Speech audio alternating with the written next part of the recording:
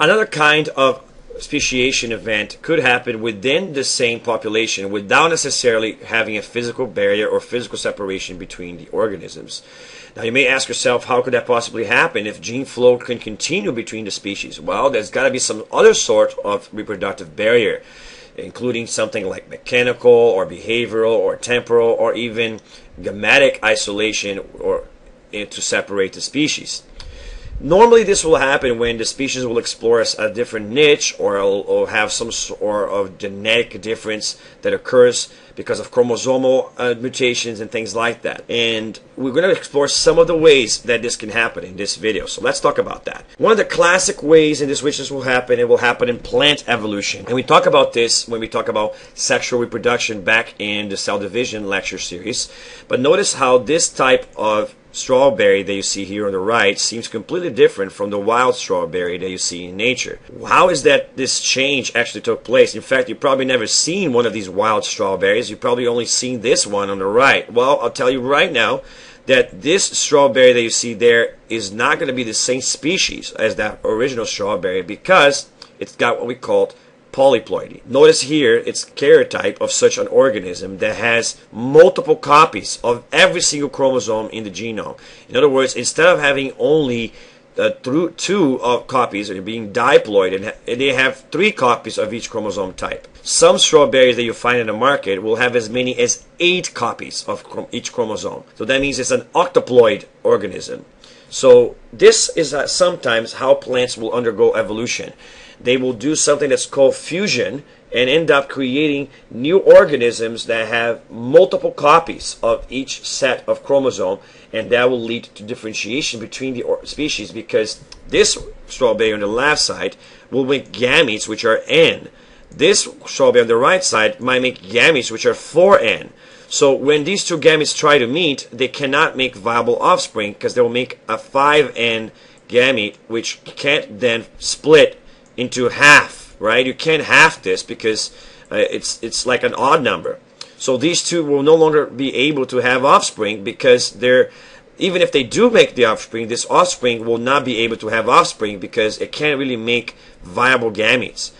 Or if it does, it, there won't be half and half. It will be a strange number of chromosomes. And that's actually causing them to be unable to cross with each other. Just like humans and chimps or humans and gorillas can't really have offspring because there's too much differences in the genome between the two species.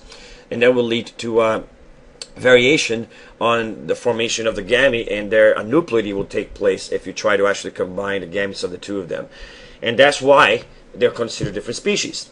So you see, this could happen within a population if there's some sort of event that leads to this uh, polyploidy to develop. Now, on the that video, I talked about several different kinds of polyploidy. One of them was called autopolyploidy, and the idea here is an organism that has, say, for example, uh, three pairs of chromosomes, so that's six chromosomes total. Uh, they do gametes, and something wrong happened with the gametes, and they do something called auto non-disjunction.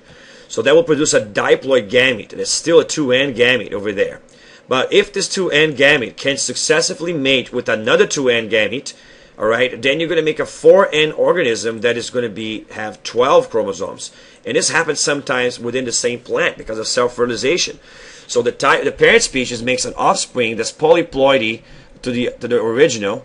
And as long as this karyotype is viable and self-fertile, in other words, you can continue to make offspring out of that, you can consider that to become a different species. Another mechanism is called allopolyploidy, and there's two ways in which this can happen. Say, for example, you have a species that's 2N, and another species, by the way, notice that the first way only involves one species uh, making two separate uh, non-disjunction gametes and then combining them to make a new species. So this is when two members of the same species merge to become a new species. On these on the bottom here is called allopolyploidy. Remember, allo means other.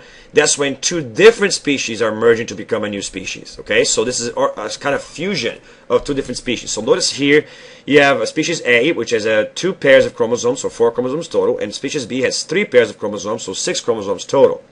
Now, of course, they probably can't really make successful offspring because they will have aneuploidy if they try to match because the thing is that one has three on its on its gamete and the other one has two. So when they actually try to match they won't really have a gamete that matches. They will have this strange hybrid that doesn't really is not really viable because they're not going to have matched pairs the way it's supposed to be when you put two gametes together. So, but what happens if for some reason this undergoes mitosis, okay, and then non-disjunction happens at exactly the same time. So a polyploidy non-disjunction during mitosis, not during meiosis this time. So what happens is that you make of course, before mitosis, you make copies of the chromosomes. So now you have two chromatids for each one of these, but it's doubled. So, and that means this was a mitosis event. So you're going to get another cell here that gets absolutely no chromosomes. So that's no chromosomes up there. This cell got all of them. And then what happened there is that what used to be an unmatched hybrid became a diploid hybrid. Now, given, of course, that each of these copies will be identical to each other, but the point is you have matched chromosome pairs, and yet now you have a diploid number except now the n number is 10, which is like combining each of the haploid numbers of the other two and then doubling it. So basically what's happening here is fusion of gametes which are incompatible with each other, followed by mitosis with non-disjunction of all the chromosomes exactly the same time. Now, if this 2N species can then create gametes, which of course are going to be uh, half of them, so in this case five chromosomes, and then still make fertile offspring. In other words, these gametes can actually fertilize each other to reestablish that 2N from which they came from. Then you can consider this a new species that hybridized between the two of them. And this has been observed in nature many times, and we'll talk about that more when we do the evidence for macroevolution lecture later in this lecture series. Uh, yet another kind of allopolyploid can actually happen when two species which are diploid each produce gametes which are are going to be interesting. So the first one creates a normal gamete, which is going to be halved. So that means, uh, for example, in here you had six on the original, so now the normal gamete will have three. But on the second one, you did an unreduced gamete by non-disjunction polyploidy. So what happens is going to be just like the original. So this is actually a gamete. Look, it did something similar to what happened there on autopolyploidy. So this last kind here is like combining the first two that we talked about. So you have one species that did a normal gamete and another one that did not. And then for some reason, they actually form uh, a hybrid. Now, of course, since they're non-matched, they're going to make what is called a, a triploid hybrid, where some of the chromosomes are going to be matched, but some are not going to be matched. So, of course, this is not really working out because it's got aneuploidy, it's got all weird kind of things. This is not going to survive. But what if this, for some reason, does do a gamete, and then you have this same thing unreduced again, so a second uh, polyploidy event during meiosis. So not just one, but two polyploidy events during meiosis, and you're going to have this unreduced gamete again. By the way, how, why are these plants doing this kind of stuff? Why are they making so many defective gametes? Well, it could be for a lot of different reasons, but but remember, plants actually evolve in this way. So there's actually mechanisms that sometimes facilitate the process of non-disjunction taking place. You know, it could be also because of mutations or radiation exposure of all kinds of different things.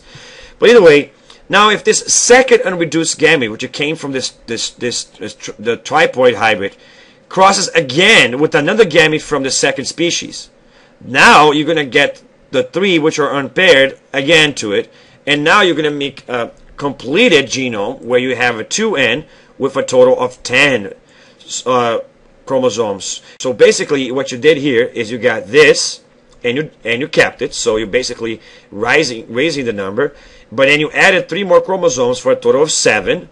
But that was not viable. But either way, you still anyways did polyploidy with meiosis again, so you still have seven total.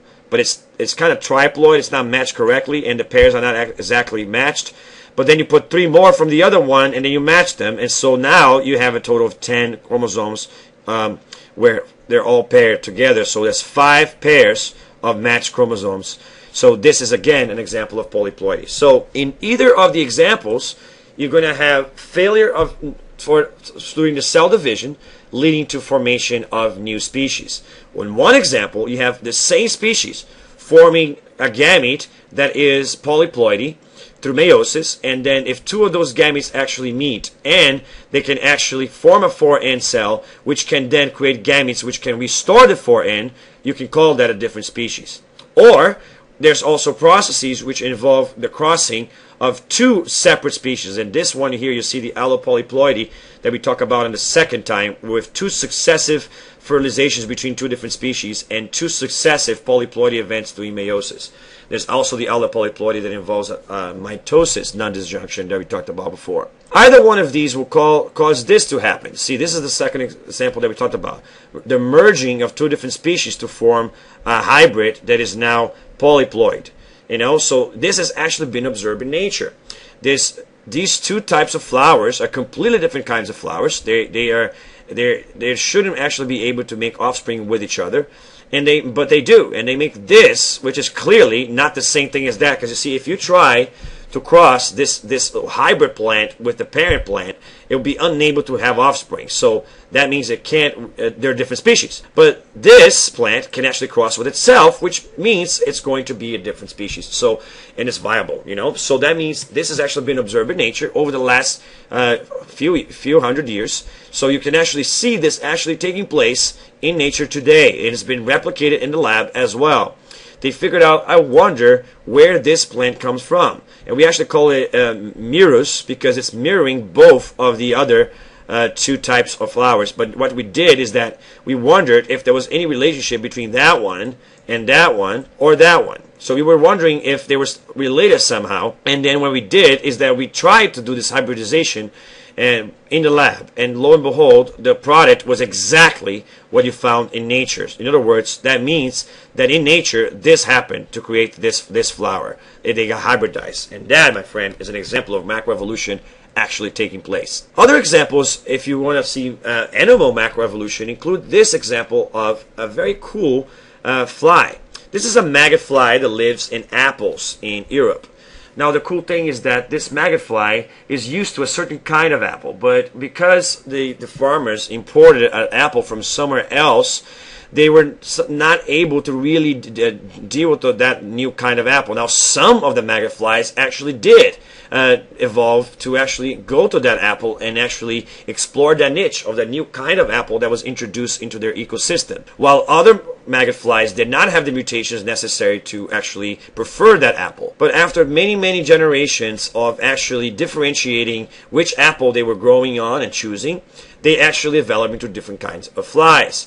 The flies that stuck to the original apple became one species, and the flies that stuck to the new kind of apple became a different species, and now the two strands cannot cross with each other, or at least not cross uh, successively enough that over a few generations they will still survive. So that means what's happening there is hybrid breakdown, uh, the last type of isolation you can possibly get. So effectively, what we did in the last hundred years since the introduction of this new kind of apple imported from, from Asia into the European uh, farms is that you make the, the maggot fly uh, evolve into a separate niche within its own population, and as a consequence, you're going to have behavioral um, differentiation between isolation between the two species, which ultimately led to um, a niche separation, which then ultimately led to speciation or separate mutations between the two species, since most of the breeding occurred within that those pop, the, population that was choosing that apple. So that's pretty cool,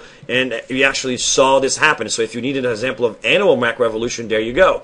Evolution of the maggot fly observed in the last hundred years because of the introduction of a new uh, niche for them within the ecosystem. So I've seen sympatric because they explored a new niche within the same population. They still had access to the original flies. It's just that they preferred mating with the flies that were focusing on the same kind of apple, and so that led to its differentiation between the species. Another example is Lake Victoria's uh, cichlids diversity. Different types of fish, which are all come from the same family, all come because of, of separation that existed in niche between them.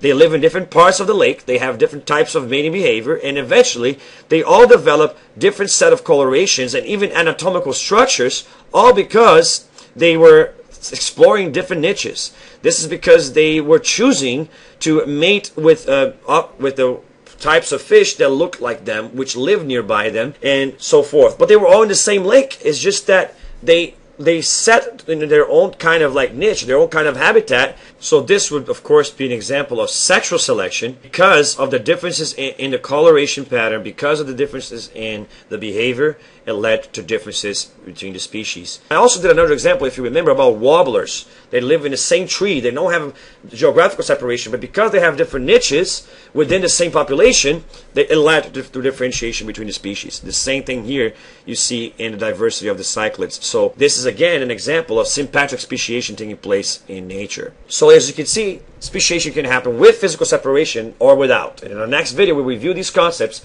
and talk about some other kinds of advanced speciation processes. I'll see you guys then.